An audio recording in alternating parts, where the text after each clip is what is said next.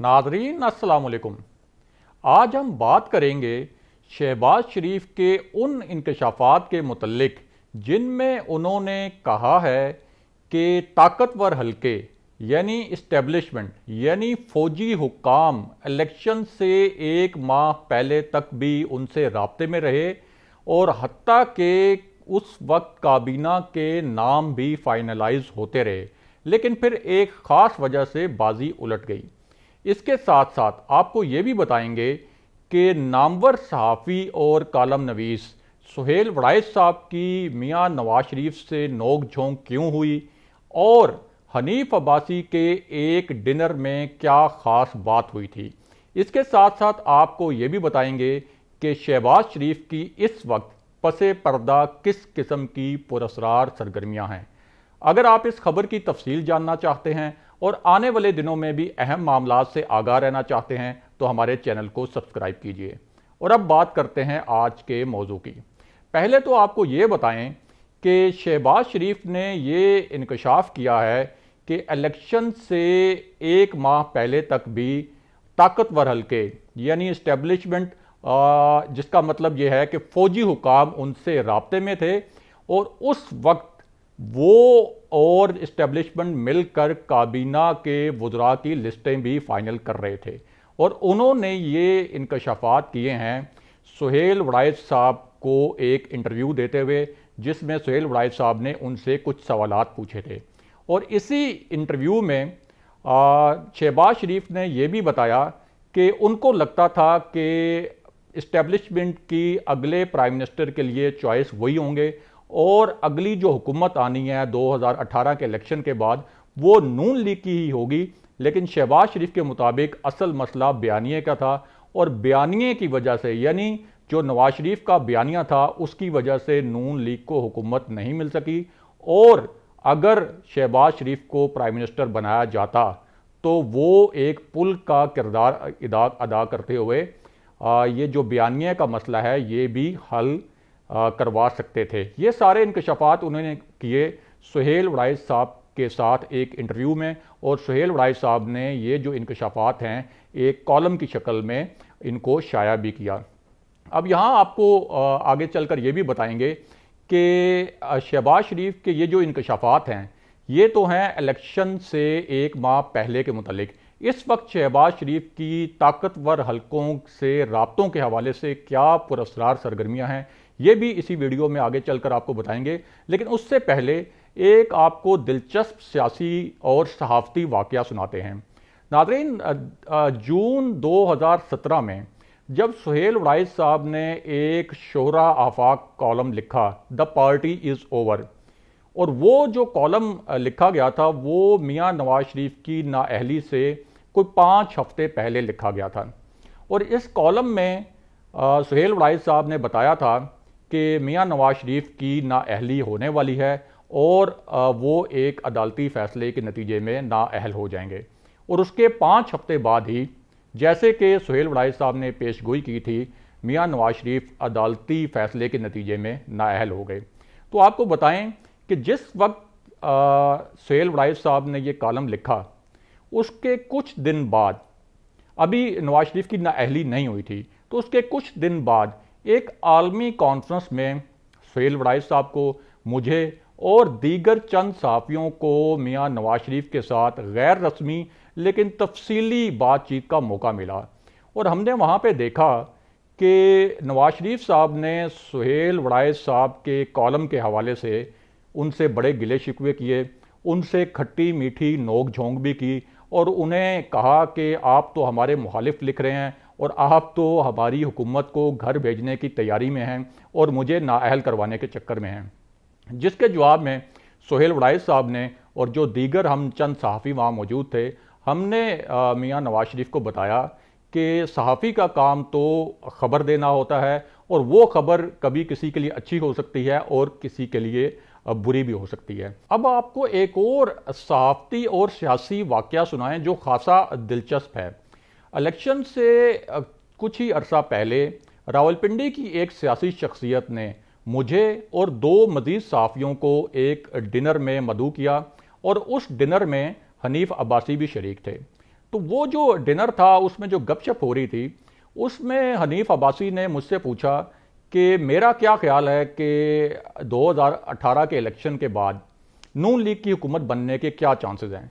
तो मैंने अपना जो सहाफ़ती मुशाहिदा है और कुछ जो हमने दीगर हलकों के साथ और पार्टीज़ के साथ गपशप लगाई हुई थी, उसकी रोशनी में उनको बताया कि नून लीग हुकूमत में नहीं आएगी और तहरीक इंसाफ हुकूमत में आएगी। और नून लीग जो है, ना सिर्फ़ इलेक्शन से पहले बल्कि इलेक्शन के बाद भी जेर अताब रहेगी। जब मैंने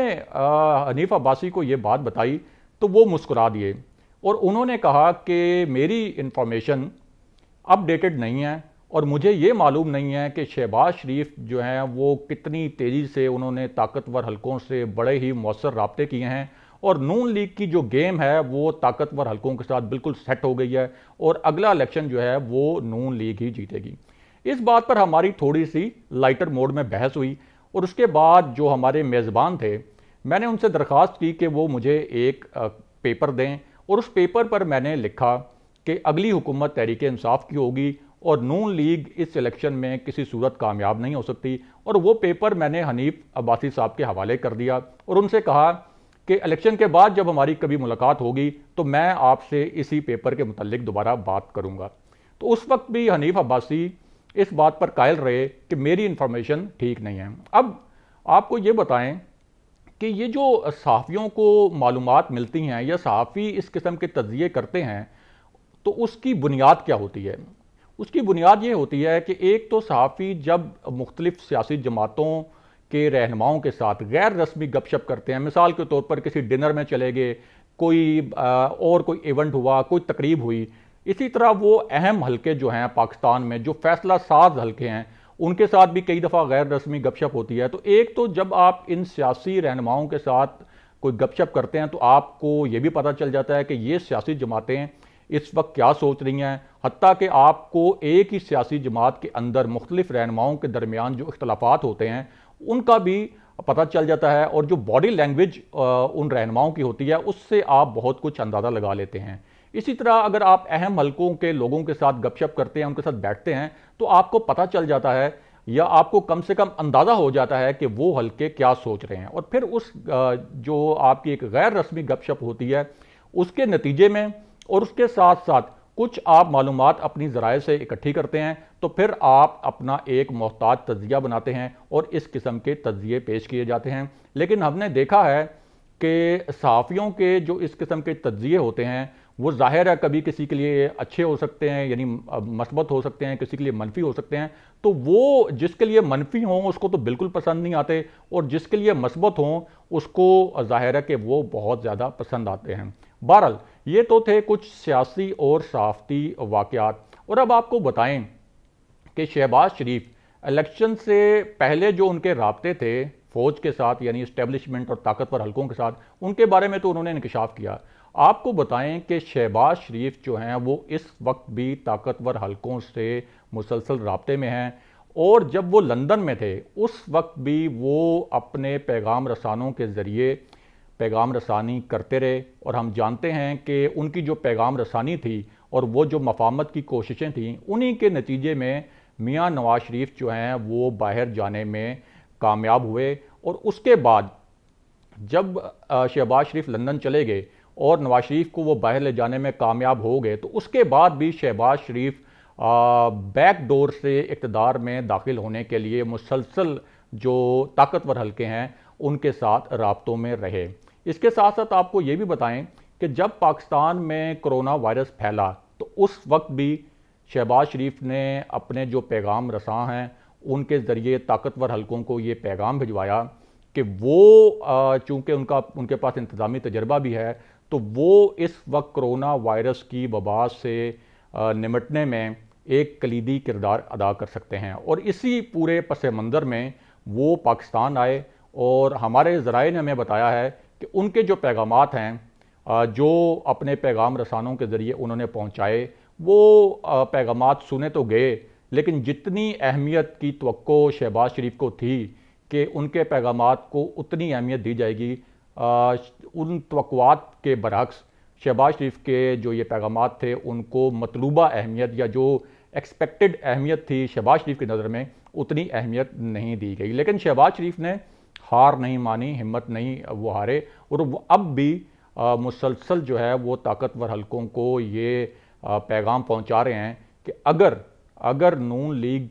कोई ऐसा सेटअप बनता है कि जिसमें नून लीग इकतदार में आती है तो एक तो वो बयानिया का मसला भी हल हो जाएगा और दूसरा वो फौज के साथ मिलकर पूरी तरह ऑन बोर्ड होकर और जो माजी की शिकवे शिकायतें हैं, उनका पूरा अजाला करते हुए फौज के साथ मिलकर इस मुल्क की मीशत को आगे लेकर जा सकते हैं। लेकिन